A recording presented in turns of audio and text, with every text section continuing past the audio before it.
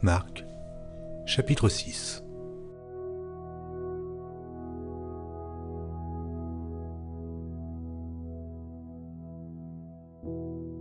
Jésus partit de là et se rendit dans sa patrie. Ses disciples le suivirent. Quand le Shabbat fut venu, il se mit à enseigner dans la synagogue. Beaucoup de gens qui l'entendirent étaient étonnés et disaient D'où lui viennent ces choses? Quelle est cette sagesse qui lui a été donnée? Et comment de tels miracles se font-ils par ses mains? N'est-ce pas le charpentier, le fils de Marie, le frère de Jacques, de José, de Jude et de Simon? Et ses sœurs ne sont-elles pas ici parmi nous? Et il était pour eux une occasion de chute. Mais Jésus leur dit, Un prophète n'est méprisé que dans sa patrie, parmi ses parents et dans sa maison. Il ne put faire là aucun miracle, si ce n'est qu'il imposa les mains à quelques malades et les guérit. Et il s'étonnait de leur incrédulité. Jésus parcourait les villages d'alentour en enseignant. Alors il appela les douze et il commença à les envoyer deux à deux en leur donnant pouvoir sur les esprits impurs. Il leur prescrivit de ne rien prendre pour le voyage, si ce n'est un bâton, de n'avoir ni pain, ni sac, ni monnaie, dans la ceinture, de chausser des sandales et de ne pas revêtir deux tuniques. Puis il leur dit, Dans quelque maison que vous entriez, restez-y jusqu'à ce que vous partiez de ce lieu, et, s'il y a quelque part des gens qui ne vous reçoivent ni ne vous écoutent, retirez-vous de là et secouez la poussière de vos pieds afin que cela leur serve de témoignage. Ils partirent et ils prêchèrent la repentance. Ils chassaient beaucoup de démons, et ils joignaient d'huile beaucoup de malades et les guérissaient. Le roi Hérode entendit parler de Jésus dont le nom était devenu célèbre, et il dit, Jean-Baptiste est ressuscité des morts, et c'est pour cela qu'il se fait par lui des miracles. D'autres disaient, c'est Élie, et d'autres disaient, c'est un prophète, comme l'un des prophètes. Mais Hérode, en apprenant cela, disait, ce Jean que j'ai fait décapiter, c'est lui qui est ressuscité. Car Hérode lui-même avait fait arrêter Jean et l'avait fait lier en prison à cause d'Hérodias, femme de Philippe, son frère, parce qu'il l'avait épousée et que Jean lui disait Il ne t'est pas permis d'avoir la femme de ton frère. Hérodias était irritée contre Jean et voulait le faire mourir, mais elle ne le pouvait, car Hérode craignait Jean, le connaissant pour un homme juste et saint, il le protégeait et après l'avoir entendu, il était souvent perplexe et l'écoutait avec plaisir. Cependant, un jour propice arriva lorsque Hérode, à l'anniversaire de sa naissance, donna un festin assez grand aux chefs militaires et aux principaux de la Galilée, la fille d'Hérodias entra dans la salle.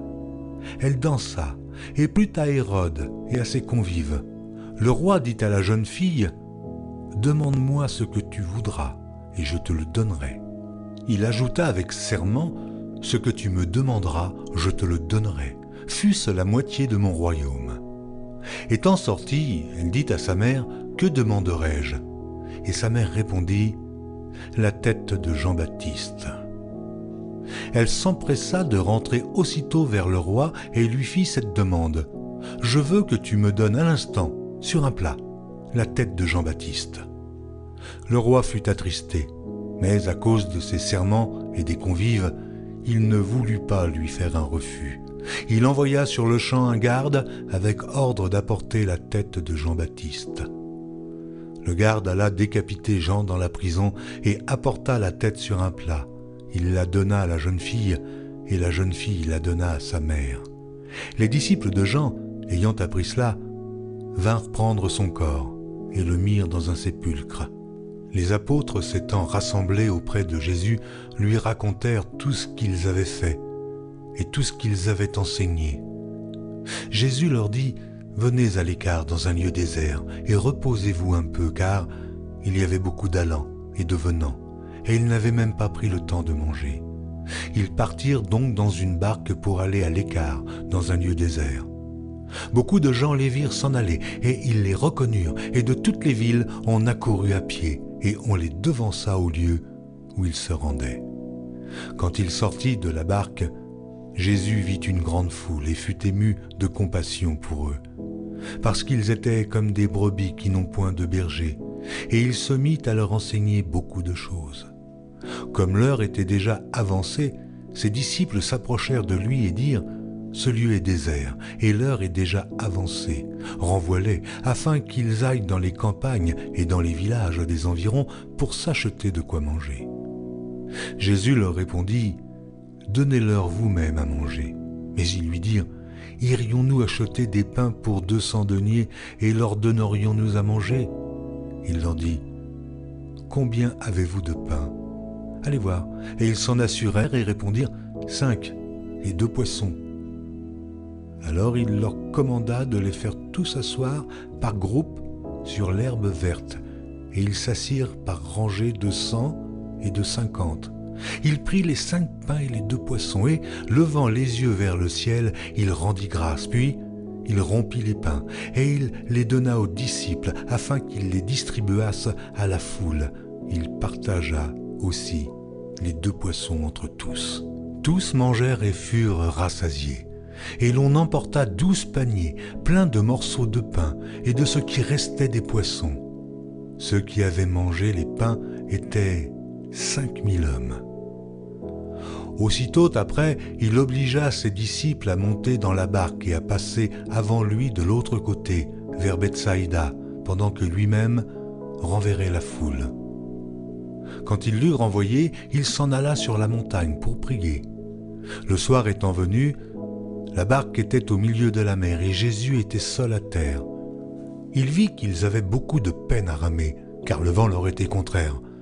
À la quatrième veille de la nuit environ, il alla vers eux, marchant sur la mer, et il voulait les dépasser. Quand ils le virent marcher sur la mer, ils crurent que c'était un fantôme, et ils poussèrent des cris. Car ils le voyaient tous, et ils étaient troublés. Aussitôt Jésus leur parla et leur dit, Rassurez-vous, c'est moi n'ayez pas peur. Puis il monta vers eux dans la barque et le vent cessa. Ils furent en eux-mêmes tous stupéfaits et remplis d'étonnement, car ils n'avaient pas compris le miracle des pains parce que leur cœur était endurci. Après avoir traversé la mer, ils vinrent dans le pays de Génézareth et ils abordèrent. Quand ils furent sortis de la barque, les gens, ayant aussitôt reconnu Jésus, parcoururent tous les environs, et l'on se mit à apporter les malades sur des lits, partout où l'on apprenait qu'il était.